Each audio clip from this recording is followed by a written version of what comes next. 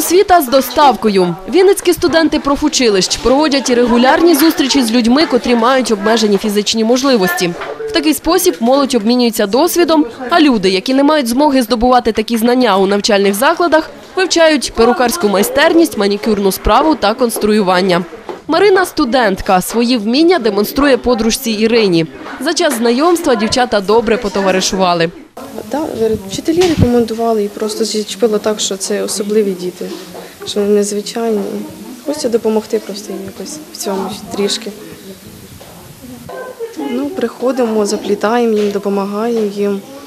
Е, Іноді вирізаємо там з ними якісь сніжинки. Оце зараз сьогодні буде Сама ж Ірина хоче навчитися косу плести, крутити, зачіски робити.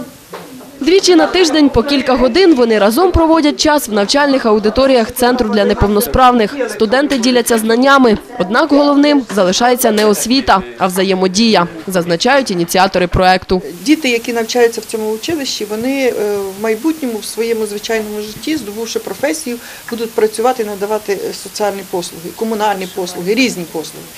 І е, наше завдання, щоб навчити таких людей, які підуть в професію, щоб вони розуміли е, потреби людей з е, інвалідністю, щоб вони е, знали, що є такі люди, що вони мають право так само заходити в перукарню, як і всі інші. Перед кожною такою зустрічю студенти отримують короткий інструктаж щодо правильного поводження з неповносправними однолітками. Кількість молодих вчителів постійно збільшується.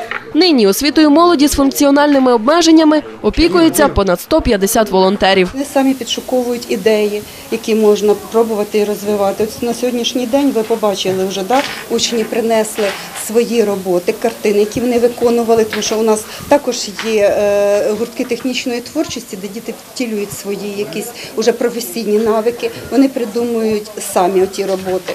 І е, виходячи з того, що можуть робити вихованці обрію, вони підшуковують оті елементи ту роботу Дипломів за навчання учні поки не отримують. Зазначають, для них важливіше не документ, а живе спілкування з однолітками.